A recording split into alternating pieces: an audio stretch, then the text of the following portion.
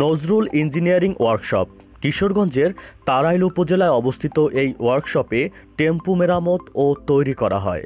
ওয়ার্কশপটির প্রতিষ্ঠাতা ইঞ্জিনিয়ার নজরুল ইসলাম। নিজ নামে ওয়ার্কশপটির নামকরণ করলেও বর্তমানে এটি ইঞ্জিনিয়ার আপার ওয়ার্কশপ নামে বেশি পরিচিত। কারণ তার স্ত্রী চল্লিশ ঊর্ধ্ব বয়সী আঙ্গুরা বেগমের তত্ত্বাবধানেই চলছে এই ওয়ার্কশপটি। কারিগরি শিক্ষা তো বটেই এমনকি প্রাথমিক শিক্ষালয়ের গণ্ডিতেও পা রাখেননি তিনি। অথচ মেরামতের এমন কোনো কাজ নেই যা এই আঙ্গুরা বেগম পারেন না। পুরা অর্ডার দিলে গাড়ি পুরা কমপ্লিট তৈরি করেও দেই এবং রিভ্যাং কাজও করি মনে করেন।